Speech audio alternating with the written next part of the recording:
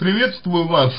И э, первое, о чем мне хотелось бы вам сказать, это то, что, э, значит, скорее всего, дело не в вас. Но поймите меня правильно, э, вы не написали ничего о себе, а в основном вы пишете только о женщине, а, которая является вашим партнером. И, собственно, вы описываете определенные ситуации скованности, описываете определенные ситуации сексуального поведения, и, соответственно,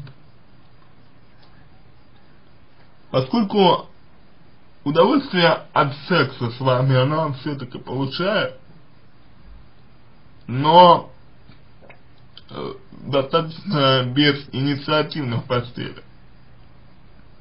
Это не связано с тем, что вы возбуждаете. Это связано с тем, что либо у нее, несмотря на то, что ей 30, это не играет никакой роли особой, а у нее какие-то комплексы, у нее может быть страхи, может быть э, она считает себя недостаточно красивой, может быть что-то еще. Такое, в принципе, бывает. Вот. А, либо вы сами делаете что-то, что ей не нравится. То есть, да, вы ее убеждаете, а, в общем и в целом, но вот то, как вы себя ведете, а, например, в постели, а, например, лаская ее и так далее. То, как вы себя ведете в постели, а ей не нравится. Ну, такое точно бывает. Знаете, у женщины в 30 лет уже э, есть свой сын, э, сценарий сексуального поведения. И в отличие от мужчин, э, у женщин э, сексуальный сценарий всегда жестче. И, скорее всего, женщина четко знает, чего она хочет, как она хочет и так далее. Но не говорит вам. И вот почему она вам этого не говорит, это вопрос. И вопрос достаточно серьезный.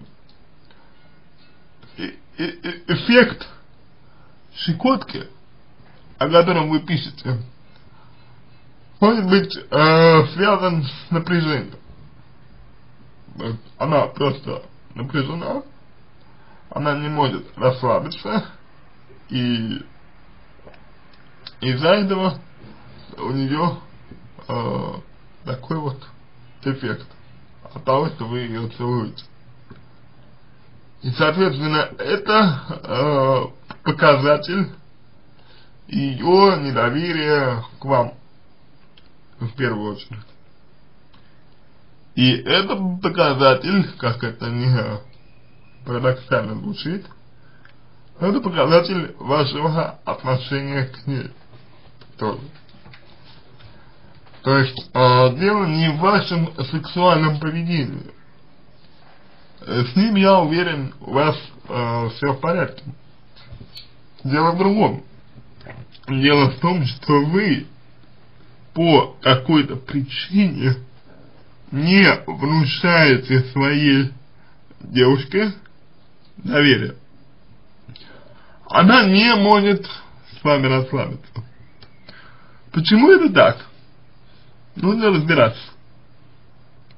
Может быть, вы ее не понимаете. А может быть, она не чувствует, что вы относитесь к ней э, искренне. Может быть, э, что-то еще. Может быть, у нее э, страхи. Может быть, вы у нее не первый мужчина, а первый мужчина там ее как-то унизил, и теперь она, например, э, боится там э, показать себя, э, ну, с какой-то не, то, не той стороны, да, чтобы вас как-то не, отпугнуть, не отпугнуть, допустим, от себя.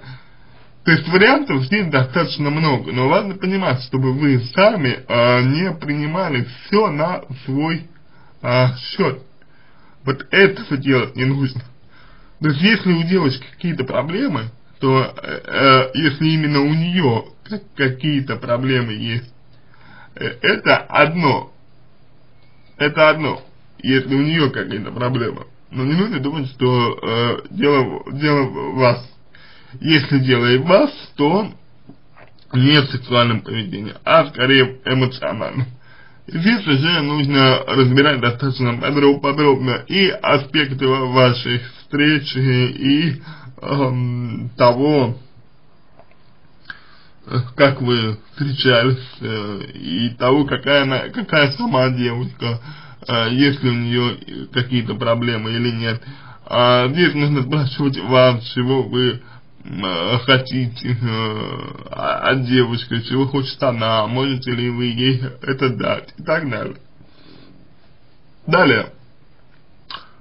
А, знаете как? Э, в сексе нужно разговаривать. И необходимо спрашивать девушку, как ей нравится и, и что нравится. Необходимо задавать э, вопрос, нравится ли это, что делаете вы в данный момент или нет. Если вы э, будете думать, что она сразу вам э, все скажет, то есть если вы думаете, что она вам моментально поделится с вами э, тем, что ей нравится, ну, вы заблуждаетесь. Потому что иногда бывает так, что девочка, девочка даже э, сама не до конца понимает, э, что ей нужно. Ну, такое бывает. Поэтому здесь не нужно спешить. Здесь не, не нужно торопиться. Спокойно э, спокойно просто э, спрашивайте у нее раз за разом, э, как ей нравится и что ей по душе. И убеждайте ее в том, и вот это, вот это самое главное, убеждайте ее в том, что вы хотите сделать ей максимально приятно. Вот это то, о чем вам нужно ей сказать в обязательном порядке то вы хотите ей сделать максимально приятно. И вот старайтесь ее в этом убеждать. Чем больше вы будете в этом убеждать, тем сильнее она будет раскрываться. Но, и еще раз повторюсь, гораздо лучше, если вы э, проанализируете с психологом, э, с психологом ее жизнь, ее впечатления, ее опыт прошлый, и э, психолог выделит основные моменты, над которыми стоит поработать. И далее вы направите свою женщину э, непосредственно к нам, либо к психологу, либо к сексологу. Ну, скорее всего, к психологу, потому что не думаю, что там дело э, секса, то есть она получает удовольствие, значит, значит э, с этим никаких проблем нет. А раз так, то это именно какие-то страхи, зажимы и так далее, скованность. А скованность это всегда именно психология, это не сексология, как таковая. Вот.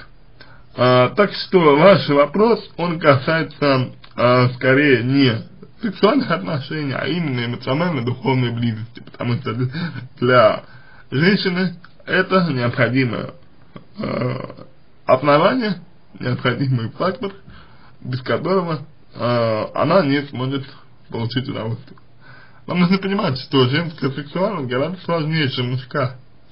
И нужно понимать, что женщину э, возбуждает далеко не всегда сами ласки.